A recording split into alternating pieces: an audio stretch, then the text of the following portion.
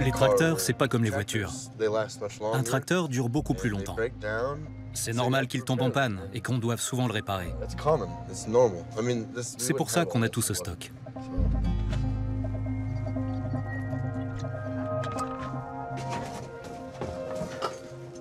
Voilà un exemple de panne logicielle. Tout doit passer par cet ordinateur central. Et si on a le moindre bug, ça met toute la moissonneuse hors service.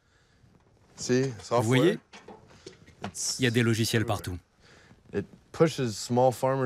Ça pousse plein de petits agriculteurs à quitter le métier. Ils continuent à tomber en panne comme avant, donc on devrait pouvoir les réparer comme avant.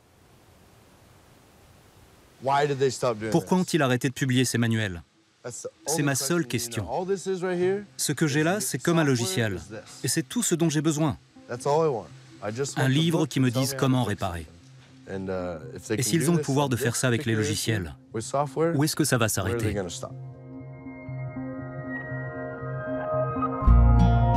Dans notre monde globalisé, presque plus rien ne semble pouvoir échapper à une gestion numérique rythmée par des dispositifs électroniques. Inaccessibles à la plupart d'entre nous, des codes informatiques dictent leur logique. Ils ont été conçus pour simplifier notre rapport au monde. Leurs concepteurs partent du principe que moins nous en saurons, plus nous resterons des clients captifs et des citoyens passifs. Au passage, ils nous laissent dans l'ignorance d'une bataille qui se joue au cœur de nos machines et oppose deux modèles de société, le monde propriétaire, dominant, faisant face à celui émergent du commun, mis au service de tous.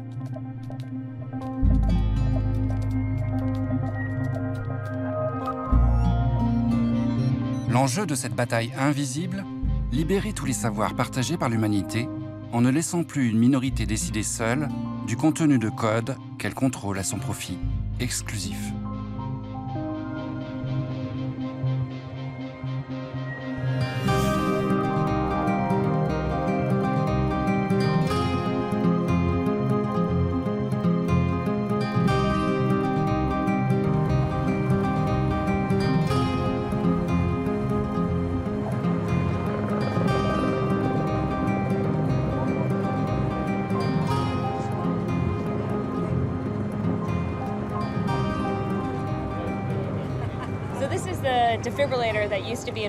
Ça, c'est le défibrillateur uh, qu'on m'avait implanté, juste là. Maintenant, j'en ai un nouveau. Um, uh, Mon cœur est trois fois plus gros que celui d'une personne normale. Et je um, risque de mourir subitement. Quand mon cardiologue reçoit des patients qui ont besoin d'un défibrillateur, il leur tend pour qu'ils puissent se toucher et se dire mais c'est tout petit, c'est minuscule. Je peux vraiment m'imaginer avoir quelque chose comme ça à l'intérieur de mon corps. Mais quand il me l'a tendu, la première question que j'ai posée, c'était « ça fonctionne sous quoi ?» Et il m'a répondu « comment ça ?» Je lui ai donc expliqué que ces appareils fonctionnent avec des logiciels et que j'aimerais bien pouvoir étudier le logiciel ou au moins en savoir plus sur lui. Sa réponse, ça a été « comment ça, un logiciel ?» Mon logiciel est littéralement incorporé et branché sur mon cœur. Mais ce n'est qu'une métaphore pour tous ces logiciels dont nous dépendons à un point critique, presque vital dans notre société. Il n'y a qu'un pas entre le logiciel qui est connecté à mon cœur et celui qui contrôle votre voiture, ou un logiciel de vote électronique, ou tous les logiciels qui font fonctionner les marchés boursiers, ou encore tous ces autres logiciels dont nous dépendons pour faire presque tout. Nous vivons à une époque où l'on est en train de construire tout un réseau d'objets connectés, un monde où tous les logiciels communiquent entre eux. Nous utilisons nos portables qui sont reliés à presque tout ce qu'on fait. Et dans ce monde, notre sécurité est à la merci de la moindre connexion vulnérable. Quand j'achète une technologie, mon portable ou autre chose, je veux pouvoir la contrôler. Je veux savoir si quelqu'un m'espionne. Je veux savoir si on transfère mes données à un tiers. Et je veux être capable de modifier cette technologie afin de me protéger d'acteurs potentiellement nuisibles. Dans plein de domaines, on a pu démontrer que le logiciel libre ou open source était une alternative parfaitement viable au logiciel propriétaire.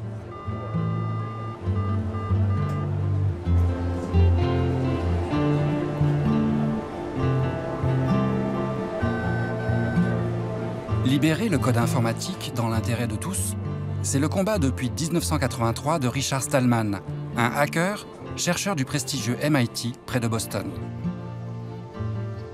Il a été le premier à pressentir que les codes numériques auraient bientôt presque force de loi dans une société de plus en plus gérée par les machines. This has the name Bill Gates on it.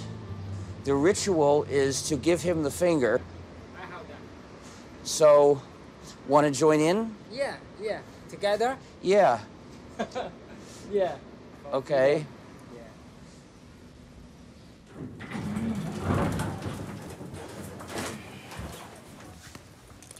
La plupart des gens utilisent une clé numérique pour entrer. Moi, je refuse d'ouvrir les portes avec un dispositif qui signale mon identité au système. Tout le monde devrait en faire autant.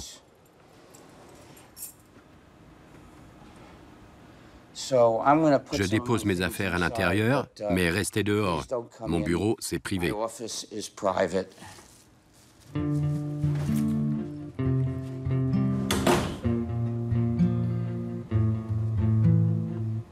Mon but était de donner la liberté à tous les utilisateurs de mon code.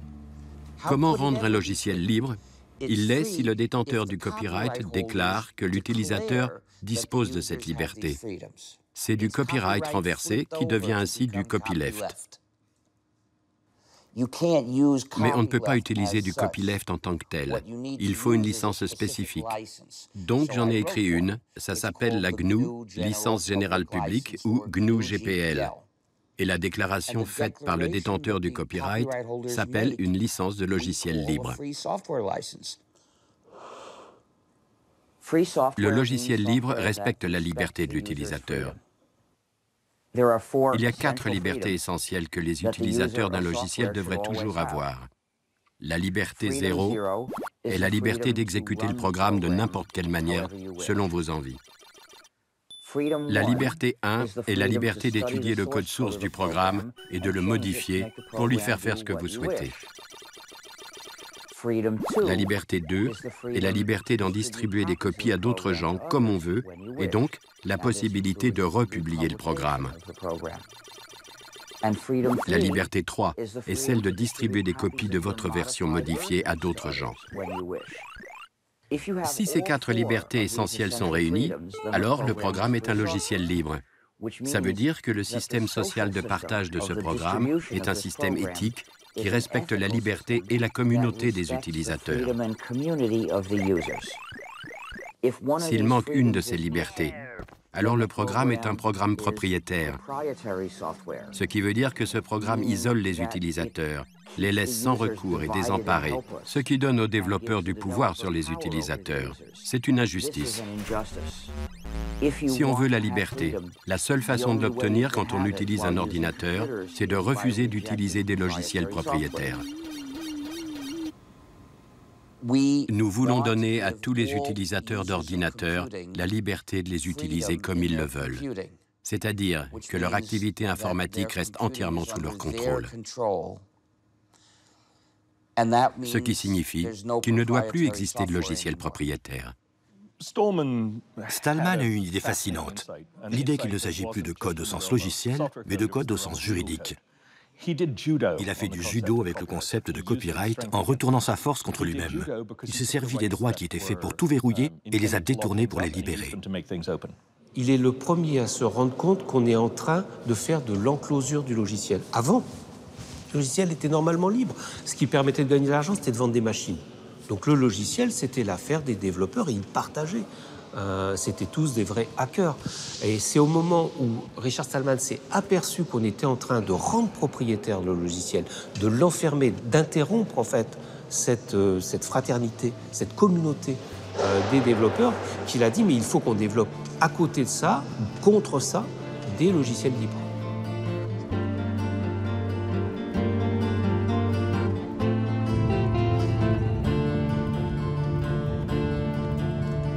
Depuis plus de 30 ans, Richard Stallman parcourt inlassablement la planète pour promouvoir les logiciels libres, mais surtout pour défendre des libertés qu'il estime de plus en plus menacées par la technologie.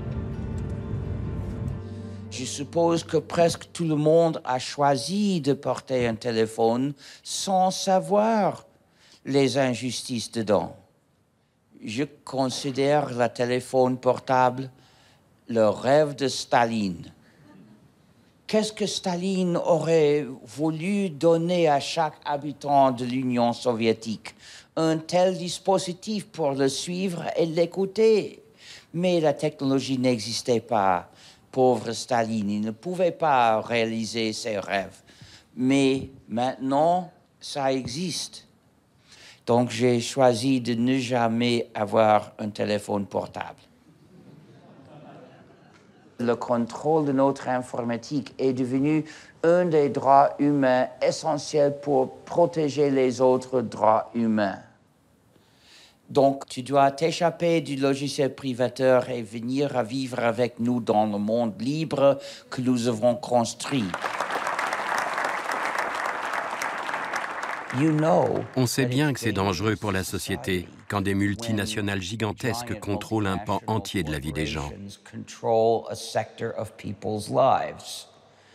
Ce qui est étonnant, c'est que ceux qui en ont conscience dans d'autres secteurs deviennent négligents dès qu'il s'agit de logiciels, alors que c'est tout aussi dangereux en matière d'informatique que dans tous les autres domaines faire du logiciel libre pour faire du libre n'a pas de sens. On fait du logiciel libre parce qu'il y a des valeurs éthiques et sociales dans le logiciel libre et que ces valeurs éthiques et sociales, on peut les partager avec un certain nombre de personnes. Et évidemment, ce logiciel peut servir à tout le monde. Il peut servir à une entreprise du CAC 40 ou il peut servir à euh, gérer un jardin partagé. Ne pas laisser au seul professionnel la maîtrise des codes informatiques c'est la motivation de nombreuses associations d'éducation populaire aux quatre coins du pays, comme ici à Nantes, où l'on met en pratique les logiciels libres. C'est pas mon travail, l'administration Linux, du coup, il faut que ça marche. De toute façon, tout ce qui est basé sur Ubuntu, euh, c'est euh, assez simple. Ah oui. Où tu passes après par un terminal et où tu fais de la commande à la main pour lui dire d'extraire et de euh, et d'installer le logiciel. téléchargement. Aujourd'hui, on a une, install party. Donc, euh, le but, c'est d'installer un système d'exploitation libre, en fin de compte, sur son ordinateur. Donc là, on parle de Linux, de GNU Linux, en lieu et place d'autres systèmes propriétaires qui sont déjà vendus avec euh, l'ordinateur qu'on achète. Euh, nous, on aimerait bien, finalement, qu'il y ait un maximum de gens qui comprennent les rudiments de ces technologies-là et que ces technologies-là soient ouvertes pour que les compétences que les citoyens et les citoyennes euh, ont, et puissent les exercer. Euh, c'est quand on répare aussi des objets qu'on comprend comment ils sont fabriqués et, euh, qu'on se dit qu'il y a des problèmes vis-à-vis de l'obsolescence, vis-à-vis de la propriété intellectuelle. Voilà, donc la question de la culture libre est aussi à cet endroit-là, c'est-à-dire que c'est pas uniquement sur le développement de logiciels libres qui seraient portés par une communauté de développeurs barbu, mais c'est une question euh, éminemment euh, politique et sociale dans la mesure où tout le monde est concerné par cet environnement de plus en plus technologique et de plus en plus opaque. Le logiciel propriétaire vous propose le plat cuisiné, tout fait, euh, que vous allez acheter au supermarché. Vous avez juste à le passer au micro-ondes et pouf, ça marche. Le logiciel libre, il vous propose de cuisiner votre plat. Ce que souhaitent les entreprises, évidemment, c'est qu'on achète des produits et non pas qu'on les prépare nous-mêmes.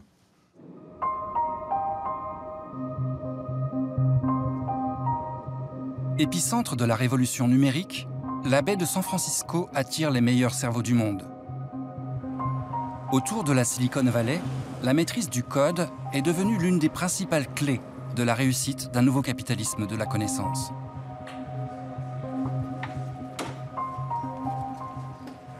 Why we developed this thing? Because um, software are not efficient, and we also introduced UCare Pro, So it's a web platform for the pharmacists, which save time, keep track of business uh, of your business. 42, c'est une école qu'on a montée en 2013 euh, sur Paris et qu'on vient d'installer ici donc euh, sur Fremont, qui est une école pour apprendre à coder. Donc euh, écrire du langage compréhensible par les ordinateurs et du coup ces ordinateurs vont faire ce qu'on leur a demandé au travers de ces langages. Donc les professionnels du, code, c'est ce qu'on appelle les développeurs et c'est ce qu'on forme ici l'intérêt pour nous de leur apprendre à programmer, ça va être qu'ils vont avoir un impact dans le monde. C'est-à-dire qu'ils vont, ils vont être capables de fabriquer le monde numérique dans lequel ils vont eux-mêmes évoluer, dans lequel on va tous aussi évoluer euh, avec eux.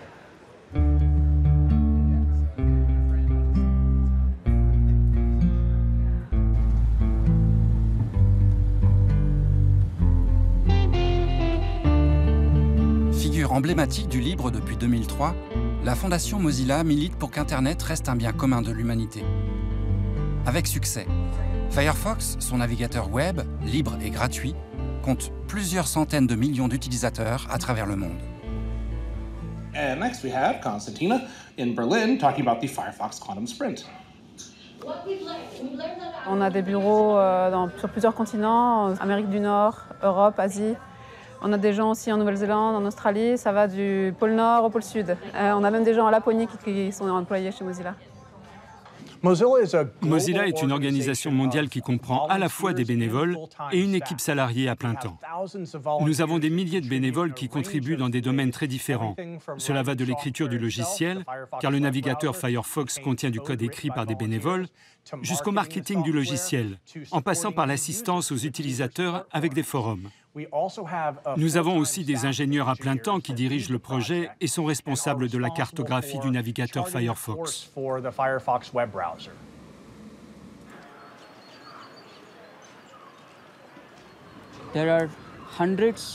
Des centaines de milliers de gens à travers le monde contribuent à la même mission, préserver le web ouvert pour qu'il ne soit pas sous l'emprise des compagnies privées ou des gouvernements. C'est l'une des raisons pour lesquelles je suis un contributeur de Mozilla, même si je ne suis pas payé. J'ai un autre travail rémunéré. Et à la fin de la journée, je me replonge dans l'univers de Mozilla. Et quand je vais me coucher, je suis en paix parce que j'ai contribué à Mozilla.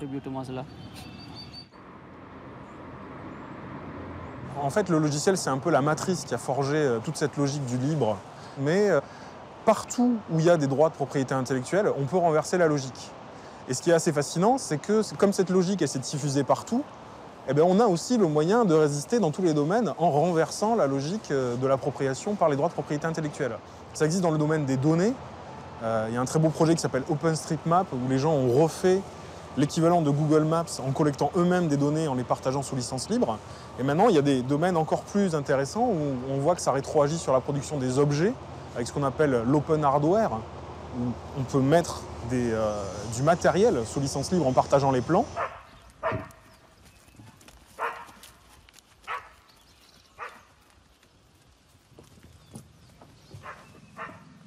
Ah, ce qui est compliqué sont les nœuds. Quand on n'a qu'une main, donc il a fallu réadapter le geste pour faire ce nœud de sécurité quand on attache les chevaux.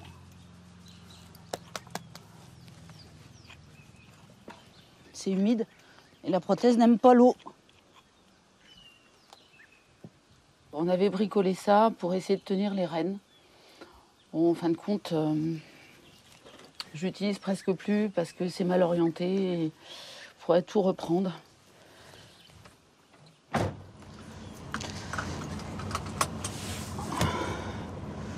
puis, il se bloque des fois. Mais à part ça, bien pratique pour conduire.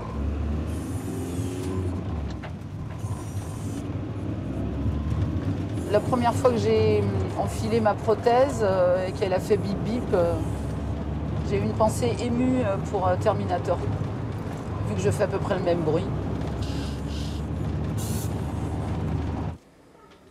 Bonjour. J'ai essayé d'inventer des tas de choses avec l'aide de copains, du matériel de bateau. Là, toi, t'arrives, t'as déjà tes trucs. Je me dis, bon, c'est bon, on est sur la même longueur d'onde. Là, on est sur un modèle libre. Donc, ça veut dire que les fichiers sont sur Internet et qu'on peut la fabriquer soi-même. Il y a une carte électronique euh, connectée en micro USB. Voilà. Là, on est sur environ. Euh, est sur 300 euros de, pièces euh, voilà, à faire soi-même. Du fait que ce soit libre, tu peux entrer dans le cerveau de la, main, en fait, et modifier le code par rapport à tes besoins. Et j'arrive à faire un, deux et trois mouvements. Et c'est du fait d'avoir collaboré entre le codeur et ma demande, voilà, on en est arrivé à ça, voilà, en euh, une heure. Moi aussi, j'ai halluciné. Quoi. Mm, mm. Donc ça, c'est euh, du domaine du libre.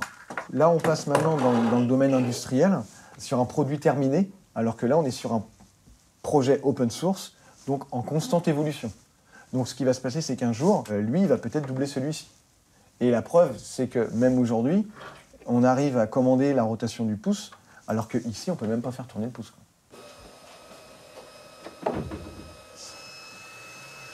Voilà. Donc tu vois, euh, au final, tu vas avoir une petite pièce comme ça. Bon, ça, tu vois bien que c'est un doigt. Et c'est le doigt, en fait, qui va, euh, va là-dessus, quoi. Là, la position qui est au milieu. Ouais. Est-ce que finalement, ça pourrait pas être un extrême? Là, je pense qu'il y a une rainure qui va, va falloir... Parce que là, si on continue d'ouvrir, on va, on va refermer. Et ça va faire ça. Ouais, exact. Et bah, go. Ouais, go. Moi, c'est bon, ça. Ok, bon, bah, c'est bien. Enfin, je veux dire, on est en 2017. Euh, Nicolas, il a une main qui a été développée en 1980. quoi. L'innovation a été faite en 1980. Est-ce que sur une prothèse de main, donc celle qui veut avoir Nicolas, c'est une nouvelle, elle vaut 40 000 euros. Il a de la chance en France, c'est remboursé par la sécurité sociale, c'est chouette. Euh, mais dedans, pour moi, la main, elle vaut 4 000 et les 36 000 autres euros, euh, c'est pas normal qu'il y ait 90% du prix qui soit juste pour payer la R&D avant. C'est pas ça sur un smartphone, c'est peut-être 2% qu'on paye.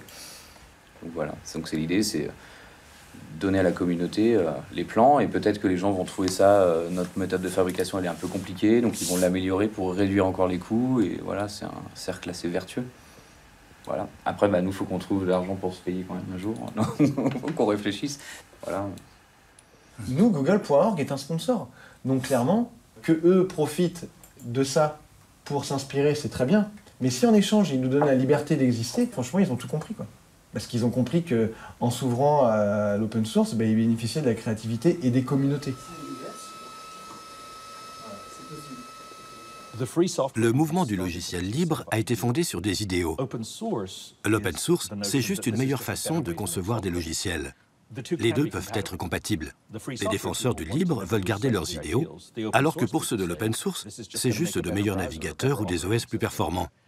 Donc aujourd'hui, Google travaille dans son propre intérêt en disant « Nous allons rendre tel logiciel open source, tout le monde aura le droit de l'utiliser. » Il se lie volontairement les mains sans plus jamais pouvoir se l'approprier. Il mise sur l'idée que cela restera toujours libre. Et aujourd'hui, Motorola ou Samsung peuvent dire « On peut l'utiliser nous aussi parce qu'on sait que Google ne remettra jamais la main dessus. » Mais c'est fait uniquement pour des raisons très pragmatiques de profit.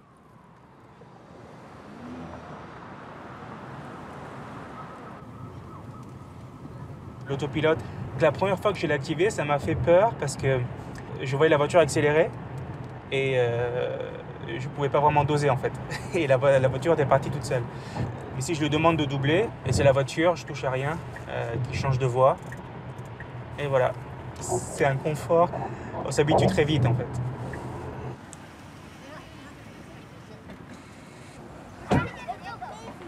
Si une voiture sortait de la même qualité mais open source, Personnellement, je prendrais la voiture open source, juste pour des questions euh, philosophiques. On s'est rendu compte qu'on utilisait beaucoup de logiciels libres, nous-mêmes chez, chez Scality, pour construire nos produits. Quand un concurrent libre arrive, euh, ils sont toujours, bien sûr, moins bons au départ. Et au fil du temps, avec tous les utilisateurs euh, qui contribuent, qui, qui donnent leurs idées, le produit s'améliore, le logiciel s'améliore au fur et à mesure. Et ma vision, c'est qu'à terme, n'importe quel logiciel va se faire rattraper par les logiciels libres. La valeur n'est pas dans le code source, la valeur est dans la communauté. Et il me semble que le libre a déjà gagné. Je ne vois pas que le propriétaire puisse gagner cette bataille, en fait. Dans votre poche, vous avez un téléphone. Euh, ce smartphone, euh, il est probablement bourré de logiciels libres. Votre box à la maison, elle est bourrée de logiciels libres. Votre télévision est bourrée de logiciels libres mais c'est une partie seulement du logiciel libre qu'on appelle l'open source. Pour nous, militants du logiciel libre, le logiciel libre, c'est open source plus valeur éthique et sociale. Vous avez une, une, logique qui est la logique fermée, qui dit que le code en lui-même a une valeur, une valeur marchande, monétaire, et que donc il est hors de question qu'il soit en accès libre aux gens. Et à contrario, vous avez donc les gens qui disent non, mais nous on veut travailler en libre, parce que tout humain devrait avoir accès à ce code et devrait donc être en mesure de le lire. Le fait qu'il soit, soit libre d'accès, c'est quelque chose de fondamental. Après, ce qui s'est passé, c'est que bah, le capitalisme, c'est bien connu, euh, d'ailleurs, peut-être qu'il n'avait pas vu Marx, il est extrêmement plastique, c'est-à-dire qu'il sait s'adapter. Donc, je crois que c'est dans les années 90, euh, il y a eu euh, une espèce de petit fork comme ça, Il y en a qui ont dit Oh non, mais nous, on utilisait bien votre code, mais quand même, on n'a pas envie que tout notre code devienne libre. Et donc, il y a eu une invention d'une nouvelle licence dite Open, avec un joli nom qui rappelle un peu le côté free, où en fait, ils ont dit Bon, alors si on prend votre code, mais qu'on le met dans nos programmes, votre code reste libre, mais le reste de notre programme, on fait ce qu'on veut avec.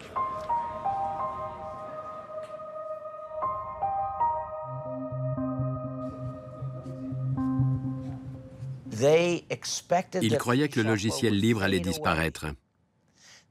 Ils s'attendaient à ce que j'adhère à leur discours pro-business, conçu pour obtenir un soutien du monde des affaires. Et je suis d'accord, c'est utile. Et c'est vrai que la plupart des logiciels open source sont libres. Mais la différence réside dans les valeurs et objectifs que nous nous fixons.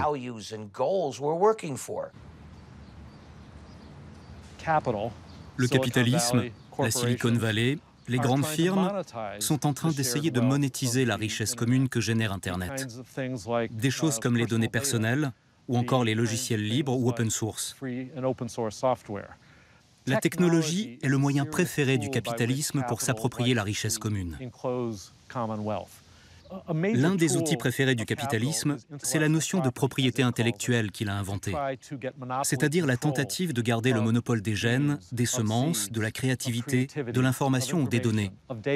Donc il y a cette volonté de s'emparer de tout cela pour le privatiser, se l'accaparer, grâce au concept de propriété intellectuelle.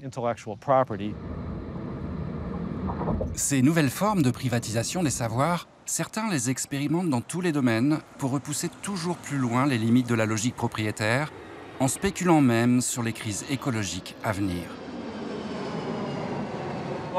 Bienvenue au siège social d'Aerofarms, Newark, New Jersey. C'est une zone industrielle, une ancienne usine sidérurgique. Ici, le sol est très pollué, saturé de métaux toxiques, mais nous n'avons pas eu besoin de le dépolluer parce que nous cultivons à l'intérieur toute l'année.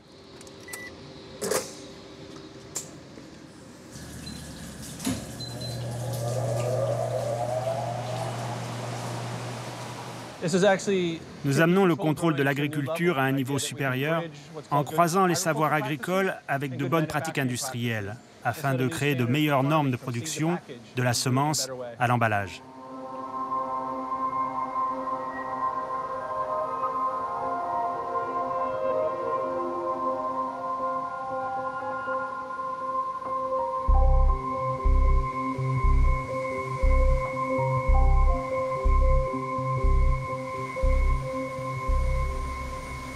Des capteurs supervisent en permanence. En voyant les pousses à J3, on peut prévoir leur stade à J10 ou J12 à la récolte. Ainsi, on obtient jusqu'à 30 récoltes par an et une production locale toute l'année.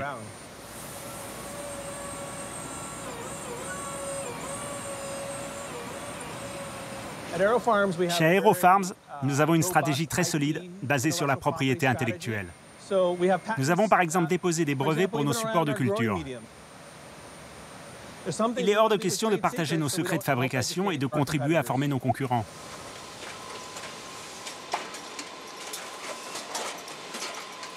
Les perspectives financières sont énormes. C'est pourquoi nous avons pu lever plus de 100 millions de dollars chez des investisseurs et des partenaires comme par exemple Goldman Sachs. L'idée est de s'attaquer aux enjeux globaux actuels, comme le réchauffement climatique ou la surpopulation, tout en ayant un business model vraiment disruptif.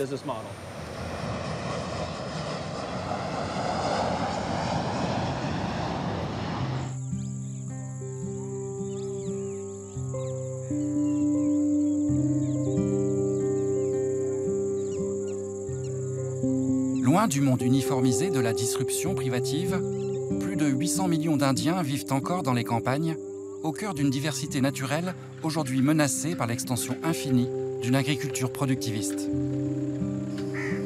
Mais ici, dans le nord de l'Inde, on a choisi de se battre pour la préserver.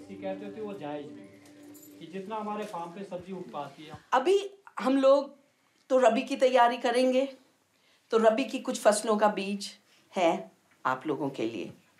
और सब्जियों का बीज है। और जाते हुए आप दरबान और आनंद के साथ और लक्ष्मी शीला के साथ देखते जाइएगा धान की किस्मों को। तो क्यों ना हम आप ही लोगों से बीज खरीदें?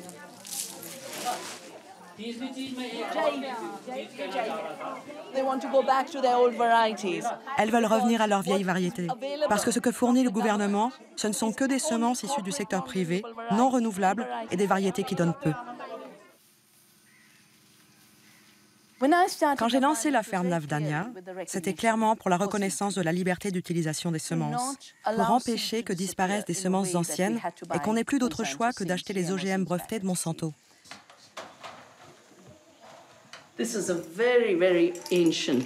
C'est un blé très ancien.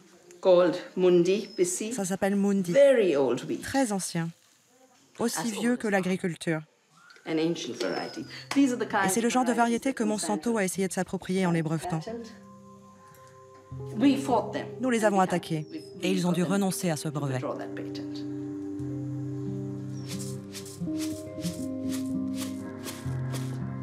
Monsanto perçoit des royalties sur des semences. Microsoft perçoit des royalties sur des logiciels. Tous les milliardaires d'aujourd'hui toutes les grandes firmes sont des rentiers. Gandhi appelait ça le péché capital, obtenir de la richesse sans travailler. Le langage informatique basique a été développé par des professeurs d'université. Le génie génétique a été développé par des universitaires. Microsoft a récupéré l'un, Monsanto a récupéré l'autre. Ils se sont appropriés des outils qui étaient dans le domaine public et ont utilisé la propriété intellectuelle pour les privatiser et accroître leur domination. Une société américaine a même essayé de breveter le riz basmati.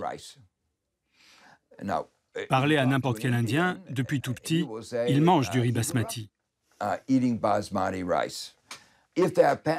Si cette licence avait été validée, ça voudrait dire que chaque fois qu'un Indien mange du riz basmati, il doit envoyer un chèque au Texas pour payer des droits sur le brevet. Il n'y avait aucune innovation là-dedans. C'était juste un petit malin qui s'est dit Tiens, personne n'a encore breveté le riz basmati, alors moi je dépose un brevet. Une pure recherche de profit.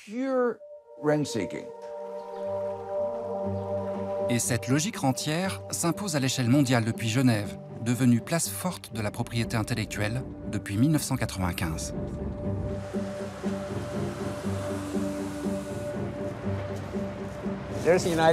Ça, c'est les Nations Unies. Ça aurait pu devenir la Ligue des Nations, mais ça ne l'est jamais devenu. L'Organisation mondiale du commerce est juste ici, un peu plus bas. Le bâtiment le plus haut du coin, dont beaucoup de gens pensent que c'est les Nations Unies, car il attire l'œil, il est gigantesque, c'est le siège de l'Organisation mondiale de la propriété intellectuelle. Cette semaine, je suis venu pour des négociations sur le copyright. Ici, on produit des traités qui fixent le niveau de contrôle sur tout. Ça va des semences jusqu'aux marques ou au copyright dans toutes sortes de domaines. Et tout ça est historiquement sous contrôle de lobbies qui défendent des intérêts privés. Et il y a une sorte de conflit d'intérêts ici. Plus l'institution délivre de brevets, plus elle reçoit de crédits pour agir. Son principal boulot, c'est de gérer des flux d'argent, pas de produire des choses. Et ça ne va pas dans la bonne direction. Ça va dans le sens d'une fermeture, d'une enclosure, et donc de moins en moins de droits pour les gens.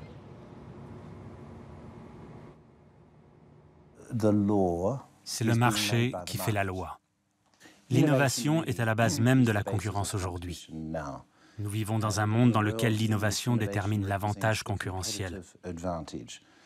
Pour innover, il faut investir. Et pour trouver des investissements, il faut une incitation économique qui encourage cet investissement, la propriété intellectuelle. Il faut bien trouver un modèle économique pour obtenir un retour sur investissement.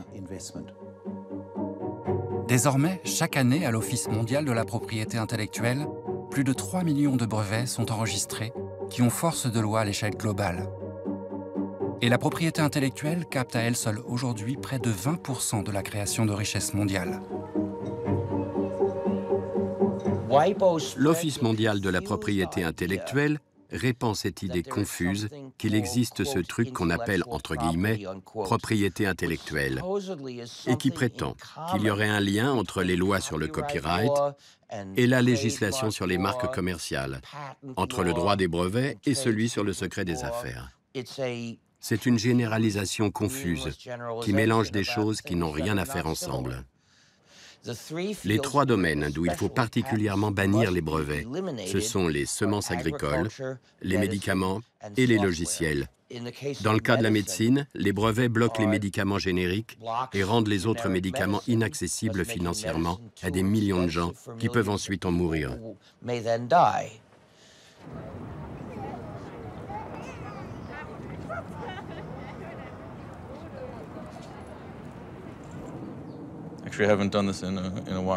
En fait, je ne l'ai pas fait depuis un moment. Laissez-moi vérifier. Quand vous êtes diabétique, vous avez toujours cette épée de Damoclès sur votre santé et votre survie. Ce qu'il y a de charmant avec le diabète, c'est qu'il faut toujours avoir avec soi son petit nécessaire. J'ai mon sac à main, avec de l'insuline, un appareil pour mesurer le taux de glucose, des bandelettes de test pour déterminer combien il y a de sucre dans mon sang. Ce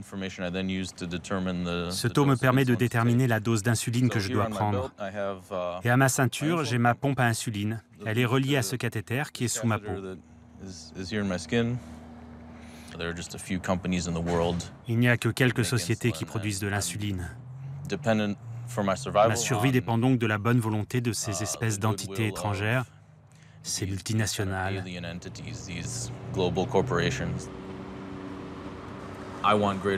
Je veux un meilleur contrôle sur la technologie qui me permet de rester en vie.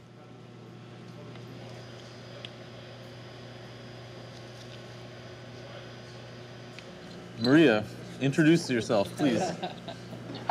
Hey guys, this is Maria over at BioCurious. Um, And I am most interested in trying to figure out how we can partner this project with other groups that want to work on it internationally and doing outreach and marketing about how we can better try to create an open source product and actually bring it to market. This is our Ici, c'est le biohackerspace communautaire où nous sommes en train d'essayer de fabriquer de l'insuline open source. Les trois plus grands fabricants d'insuline en Occident on fait monter les prix de l'ampoule de 15 ou 20 dollars à plusieurs centaines de dollars.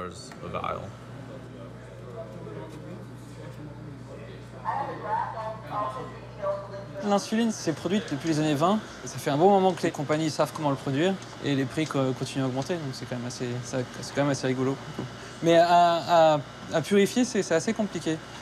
Parce que il, y a des, protocoles qui sont simples, mais euh, évidemment, ils sont brevetés. Donc euh, tout, le débat, c'est comment on peut tourner autour et trouver un moyen d'échapper au brevet. Toutes les molécules qui ont une taille supérieure à 3000 euh, Dalton ne vont pas passer au travers. c'est une façon de concentrer les, échantillons. It's, there is less than 2%. On arrive à produire la pro-insuline, mais on n'a pas un rendement suffisant pour euh, transformer la, la, pro-insuline en insuline. Au début des années 80, il y a trois grandes industries, celle de, la pharmacie, les big pharma, celle de, des médias et de l'entertainment, et celle naissante de l'informatique, vont se dire notre vrai métier n'est pas de vendre des produits, c'est de gérer le savoir qui est incorporé dans ces produits. Elles vont être rejointes très rapidement par l'industrie des biotechnologies. Et à partir de ce moment-là, elles vont créer en fait une économie de la connaissance. En même temps qu'un produit, j'ai acheté un droit de regard de celui qui avait mis de la connaissance dans le produit.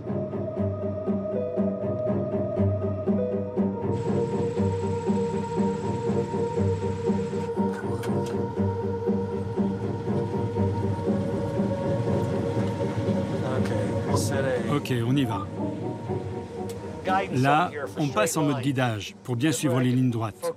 Comme ça, je peux me concentrer sur le sol et voir comment avance le boulot. Cette machine a des tas d'ordinateurs juste derrière moi. Il y en a deux aussi près du moteur, à l'arrière de la moissonneuse. Et ils contrôlent presque tout. On est piégé, complètement piégé. On a de gros problèmes avec le concessionnaire John Deere et aussi avec Bayer. Les semences dont je dépends viennent de cette société. Et ma moissonneuse vient d'une des plus grandes firmes mondiales de machines agricoles. Piégée par les logiciels et les semences.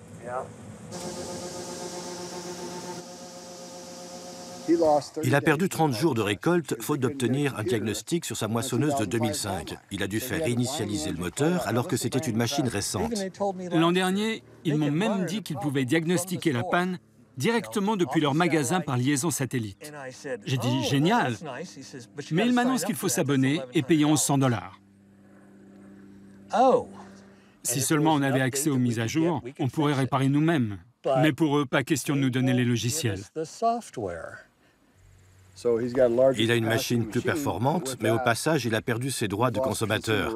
Il a perdu le droit de réparer et maintenant même le droit de modifier sa machine à cause de l'accord étendu sur les licences informatiques.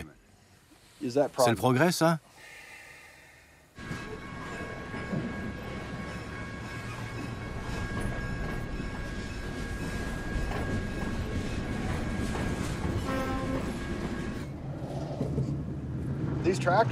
Ces machines sont des ordinateurs sur roues.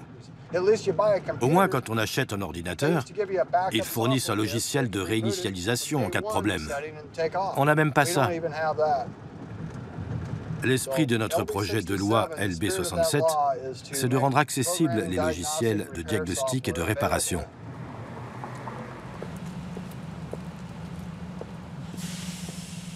La société politique existe pour le bien d'une vie noble.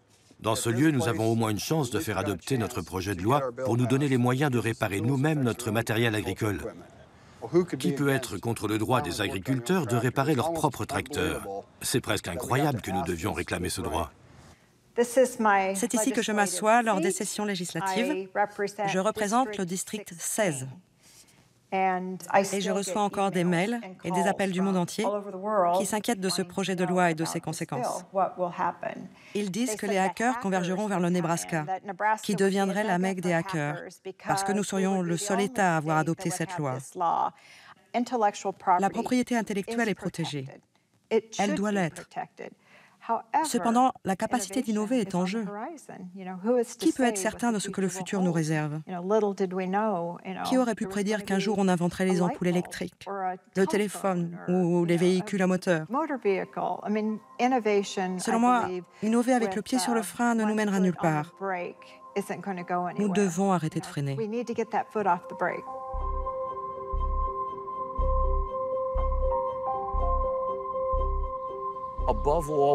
Avant tout, nous devons mettre en échec le pouvoir politique du monde des affaires. Nous sommes dans des États plutocratiques sous contrôle du business. Par exemple, les traités sur le commerce réduisent le pouvoir des citoyens sur leur propre État. En transférant ce pouvoir aux firmes, les traités leur donnent plus de prise sur l'État parce qu'elles peuvent toujours menacer. Nous transférerons nos activités dans d'autres pays si nous n'obtenons pas ce que nous exigeons.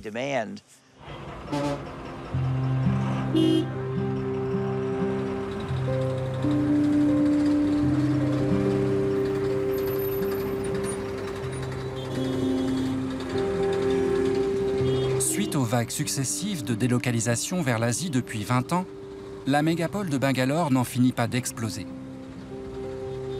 Elle a su faire fructifier son statut de capitale indienne des hautes technologies et du numérique.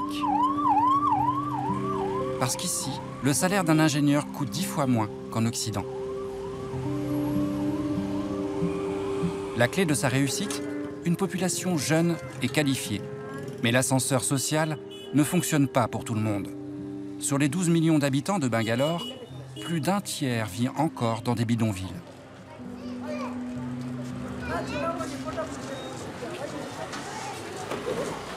C'est par ici. Tous ces gens se sont battus pour pouvoir s'installer et vivre ici. Ce quartier abrite environ 300 familles. Ces gens ont des boulots précaires. Ils doivent lutter pour se nourrir. Ici, c'est considéré comme un bidonville, même si nous, on ne dit pas ça.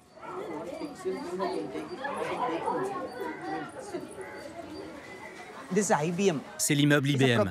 C'est un symbole des logiciels propriétaires. On n'aime pas cette firme. Ici, il est écrit libre, pas gratuit. C'est la philosophie du logiciel libre. Libre est le mot espagnol pour dire que nous sommes libres, que nous ne sommes pas des esclaves.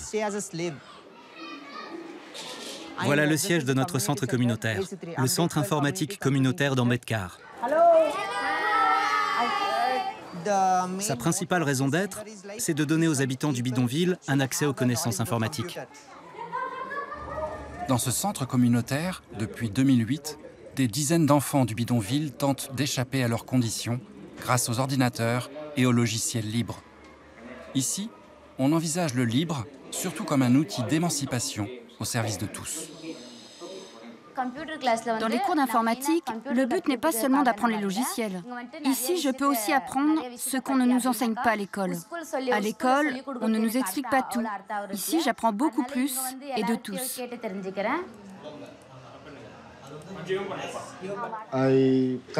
Je travaille dans une boîte d'informatique. J'étais un cancre, j'avais arrêté l'école. Ce qui m'a sauvé, c'est le logiciel libre. Grâce aux bénévoles du centre, à des séminaires, à la pratique des logiciels libres, j'ai beaucoup appris ici. Et aujourd'hui, je dois partager ce savoir avec la communauté.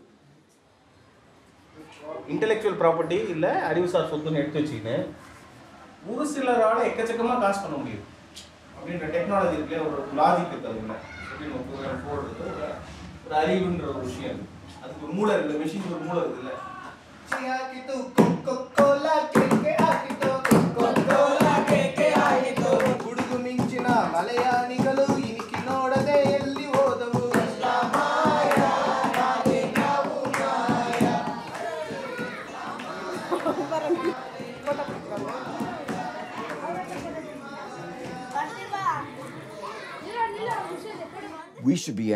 Il faudrait se demander comment créer une société moderne de la connaissance, où les gens font avancer les frontières du savoir et où tout le monde progresse en même temps vers cette frontière.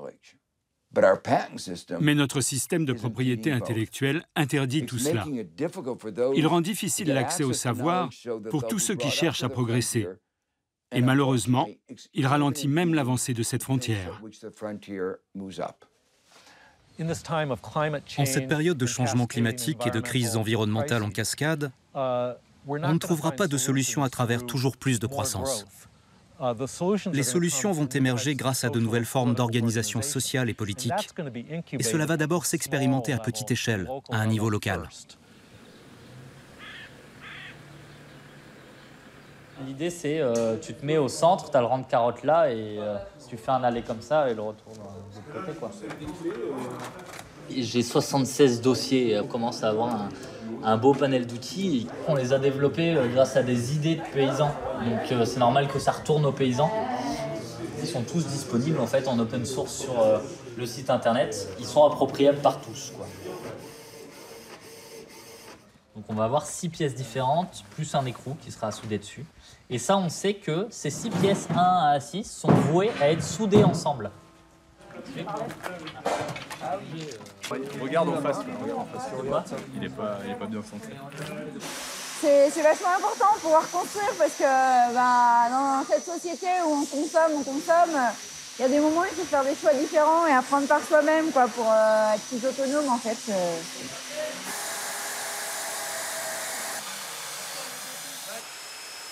Des outils libres, pour nous, ça veut dire des outils vivants.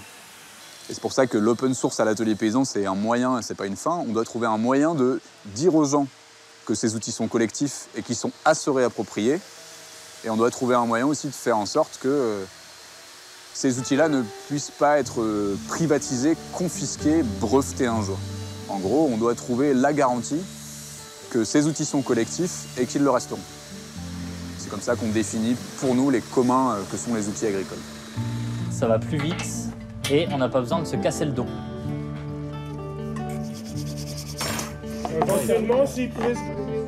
Évidemment, le libre peut être créateur d'emplois. Je pense qu'on en est une preuve. On est entre 60 et 70% d'autofinancement et 30 à 40% de subventions publiques de l'autre côté.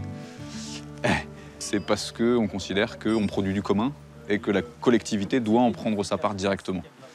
Parce que libre ne veut pas dire gratuit et qu'il y a besoin d'argent pour faire tourner tout ça, évidemment. Mais ça, ça montre qu'en fait, euh, bah, la société civile, elle peut être productive elle aussi. Hein. Elle c'est une chose qu'on a tendance à, gommer. Hein. On, voit d'un côté l'État ou le marché, et à, côté, il y aurait une société civile qui serait une société de consommateurs.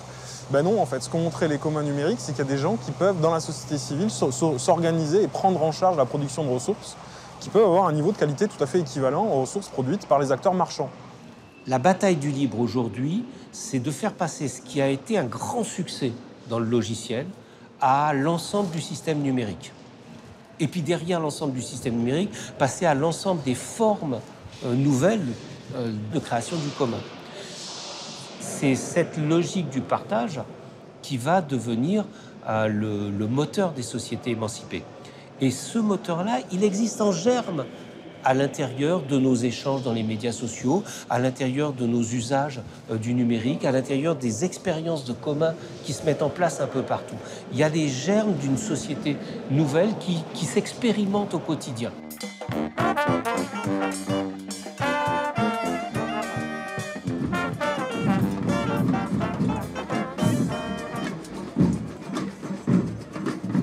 C'est assurément une belle victoire la sauvegarde de terres nourricières, la sauvegarde de zones humides avec toute la biodiversité et la remise en cause de décisions prises sans respect des populations. C'est votre soutien à tous, à toutes qui nous a permis de faire reculer ce projet jusqu'à l'abandon.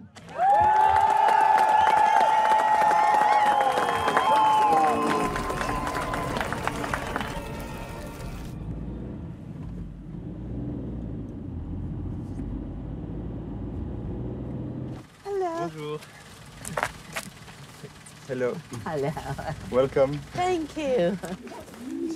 Sans cette force euh, collective de tous les militants, mais entre autres de celle des voisins, euh, nous n'aurions pas, nous, paysans, osé rester en illégaux dans nos propres maisons. Donc sans les occupants, en fait, ils auraient créé un désert autour de nous. 60, 70 living places. Uh-huh. Many other people are not farmers, they have diverse activities. Okay. So yeah. we don't want it to go to like industrial ag- yes. agriculture. So these are zones of freedom. Sure. And that are needed. Mm-hmm. The lighthouse, uh, there is also a siren. A siren. OK. C'était des communs, c'était des landes très étendues où euh, les, les, paysans pouvaient faire pâturer leurs bêtes euh, comme ça, assez librement. Et toute cette zone aujourd'hui, elle est la propriété de l'État. Ce qui fait que, en fait, euh, pour nous, euh, la question de la propriété euh, ne se pose pas. Et c'est une chance, parce que pour nous qui occupons, bon ben voilà, certes on est dans l'illégalité, mais on assume cette illégalité. Ça fait qu'on peut en fait organiser la multiplication des usages sur ce territoire d'une manière assez libre, autonome et en dehors des, des enclosures de la propriété privée. Un territoire se défend avec celles et ceux qui l'habitent. We are going now in Lesandon, which is the living place where I, live. Okay. We came here and we installed everything. The, the house, the garden. This is this one? Yes. Sweeter? Uh, I think so. And uh, it's also practical to cook it because you do not need to peel it.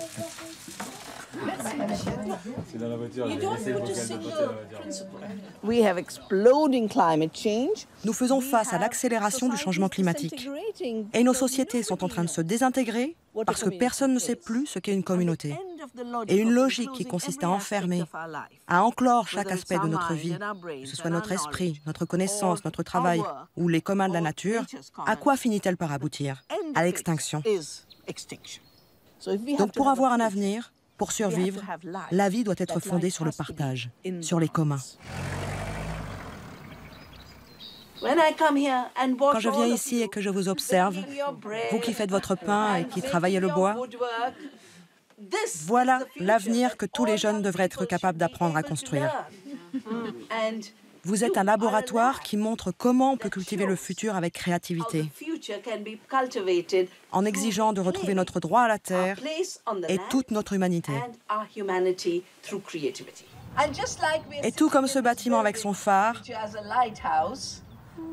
la ZAD est devenue un phare qui montre le chemin que nous devrions suivre.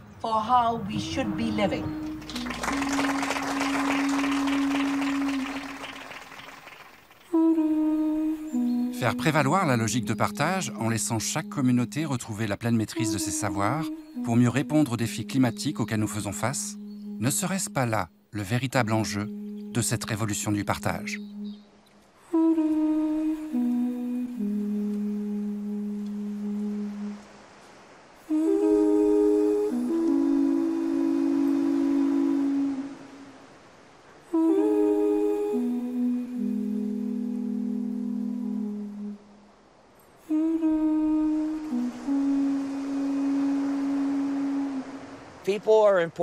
Les gens sont tous importants. Quel que soit votre âge, s'il vous plaît, rejoignez notre combat.